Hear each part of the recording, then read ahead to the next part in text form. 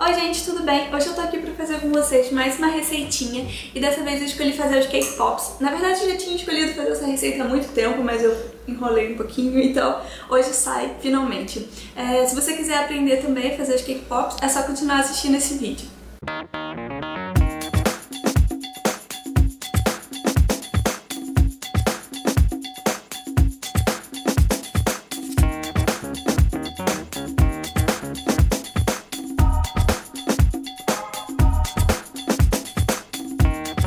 Então, gente, eu comprei um bolo desse tamanho, não é muito grande, é pequeno, e eu cortei ele assim em pedacinhos quadrados para ficar mais fácil. E se isso aqui não for o suficiente, depois eu uso esse segundo, mas primeiro eu cortei só um.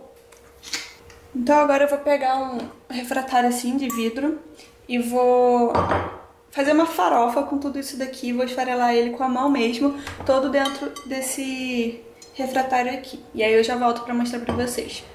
Esfarelei tudo, ficou bem soltinho, ó, parece até uma terrinha. E não tem problema se ficar com alguns pedacinhos maiores, porque a gente vai embolar isso aqui tudo daqui a pouco. E agora a gente vai acrescentar alguma coisa para dar uma consistência a, a, essa farofinha que a gente fez. Eu escolhi doce de leite e eu comprei o light para dar um pouquinho menos de culpa, mas você pode usar Nutella ou leite condensado, creme de leite, qualquer coisa que deixe o, o bolo mais molhadinho e dê pra gente fazer as bolinhas. Eu vou colocar com uma colher aqui, vou botar bastante. E depois eu vou mexer tudo. E aí eu volto para mostrar para vocês como ficou. Então, meninas, depois que eu misturei, ele fica assim, ó, bem colento mesmo, bem grudado. E agora não tem jeito, a gente vai ter que botar a mão na massa. Eu misturei tudo com a colher, mas agora eu vou ter que fazer com a mão.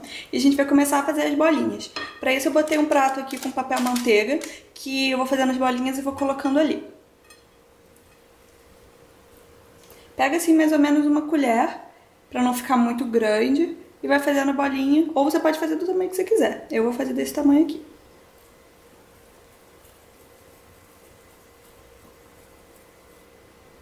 Assim, ó.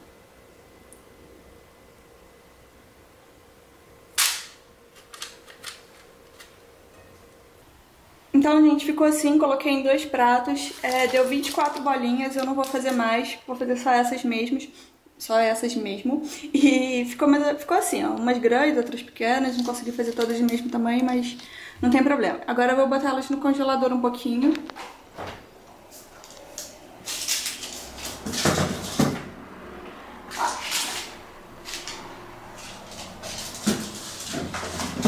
Cadê?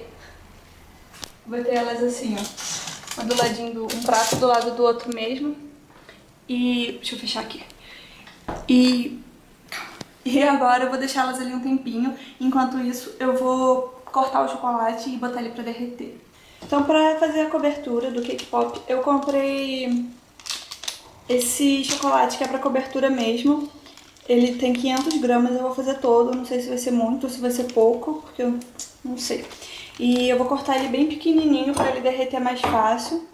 E vou derreter em banho-maria. Que aí eu vou colocar uma panelinha com água e essa tigelinha dentro para ir mexendo e derreter sem queimar o chocolate nem grudar na panela. Então, gente, eu acabei de tirar os pratos do congelador. E agora eu vou enfiar isso aqui nas bolinhas. Enquanto isso aqui estava no congelador, eu fui derretendo a calda e eu botei dentro essa panela tá com água quente pra calda não não esfriar, não ficar mais dura. E ela ficou nesse ponto aqui, ó, que tá bom pra gente fazer a nossa cobertura. Então, gente, quando vocês forem é, fazer, colocar o palito, dá uma apertadinha aqui do bolinho no, no palito. Aperta o bolo contra o palito pra ele ficar num formato como uma coxinha, assim, mais ou menos porque aí ele não vai ficar frouxo e ele vai ficar mais fixo no palito. E aí agora a gente pega e coloca o, o chocolate e também coloca um pouquinho no palito, que também é uma coisa que vai ajudar a prender o palito no... o bolinho no palito. Então é só isso. Então, gente, eu terminei de colocar a cobertura nos bolinhos e sobrou bastante, então eu acho que uns 300 gramas dá.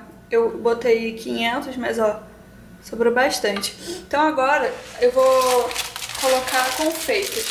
Eu tenho esse de coração, e esse de bolinha branca e preta e granulada. Aí eu vou colocar aqui por cima mesmo, em cima de cada bolinho e depois quando eu tirar pra colocar no suporte que eu for botar, aí a gente coloca no topo dele também. Então, gente, foi isso. Como vocês viram, é uma receitinha bem prática de fazer e é legal pra servir em festa, fica diferente. Ou mesmo pra fazer em casa, pra se divertir, pra sair do comum. É... Se vocês ficaram com alguma dúvida, é só deixar aqui embaixo nos comentários. Se vocês tiverem alguma sugestão pra fazer nos próximos vídeos, também pode deixar aqui embaixo que se eu souber, se eu puder, eu posso tentar fazer. E vocês podem servir assim, do jeito que eu deixei aqui, é, num prato mesmo, em vez de deixar ele é, espetadinho em alguma coisa. Só que aí vocês tiram o papel pra ficar mais bonitinho. Ou numa caneca, eu deixei na caneca aqui, porque eu vou ficar em casa, não vou servir pra ninguém.